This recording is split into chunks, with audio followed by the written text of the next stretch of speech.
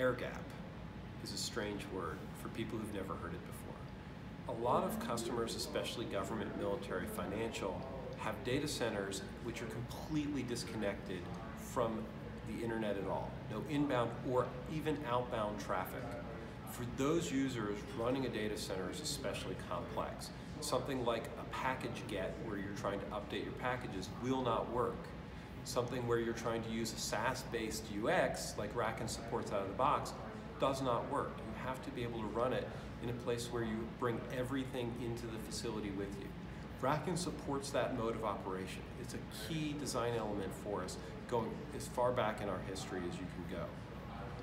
The way we've designed it to work is the digital rebar endpoints do not require any external management. There's no SaaS backend, there's no database, there's no uh, reach out to the internet at all. It can stand up and run completely disconnected.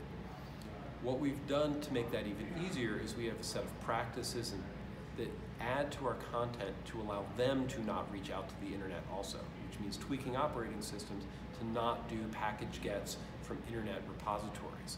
It also means that our UX, which is normally run from our SaaS, could actually be run on premises from a laptop from a dedicated machine with near full functionality. Same UX, same experience you've been having, but running in a completely air-gapped environment where you don't have access to the internet or our SaaS. I hope you'll try it out. We think it's an important feature.